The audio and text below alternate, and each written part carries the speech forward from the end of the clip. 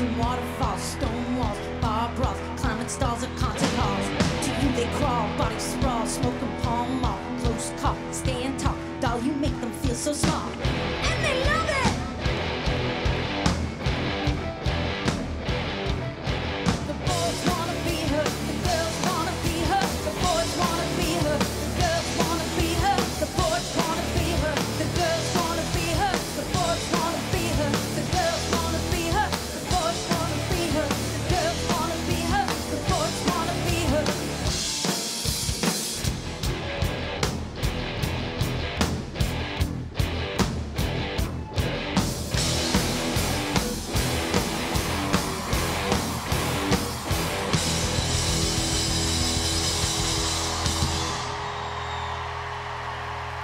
Ladies and gentlemen, here's your host, Samantha Bee.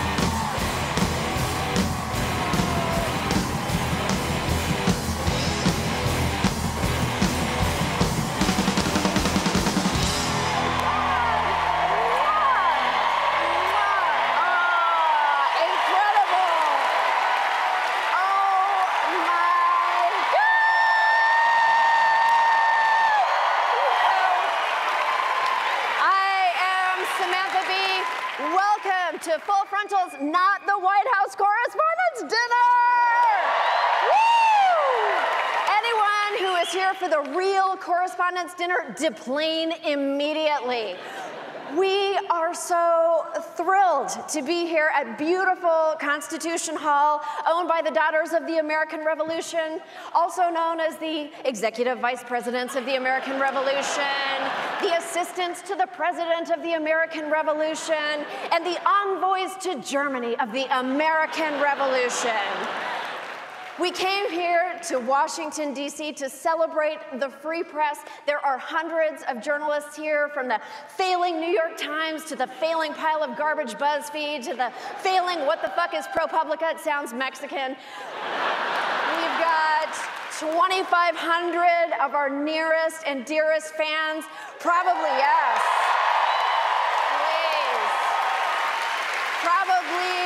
Russian ambassador is here. He turns up everywhere. We want you all to have a great time. I know it looks like we have a cash bar tonight, but as I promised you in the invitation, at a later date, I will get Mexico to pay for all your drinks. And you are all gonna wanna make friends with our honored guests here at the front tables. They are the Committee to Protect Journalists. Yes. right here. These, these are the guys you call if you leave the hall tonight and discover your car has been keyed by Sean Spicer. Oh, buddy, why'd you sign it? All proceeds from tonight's event benefit CPJ's work. If you're enjoying the dinner from home, first of all, I hope you're wearing black tie. Have some respect for me. Second, you can make a donation by texting CPJ to 40649 because without a free press, we wouldn't have a functioning democracy or anything to post on social media with our own trenchant commentary that shows everyone we're on the right side of history.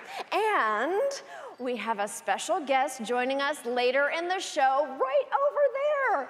So, all you cable news producers in the audience, you'll want to turn your chairs that way and just stare at that podium for the rest of the show. Do not look away, no matter what else is happening or what a woman might be doing over here.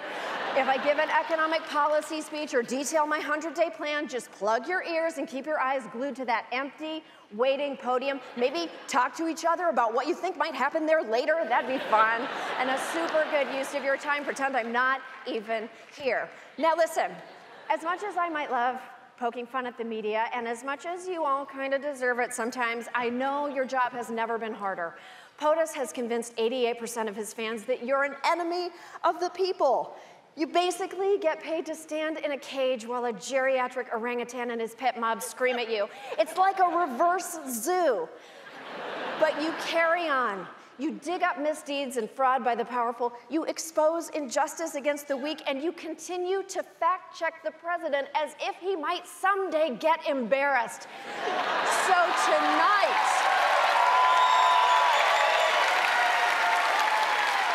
tonight is for you. Tonight, the president screams at a pen that Katie Tur is not in. Cheers.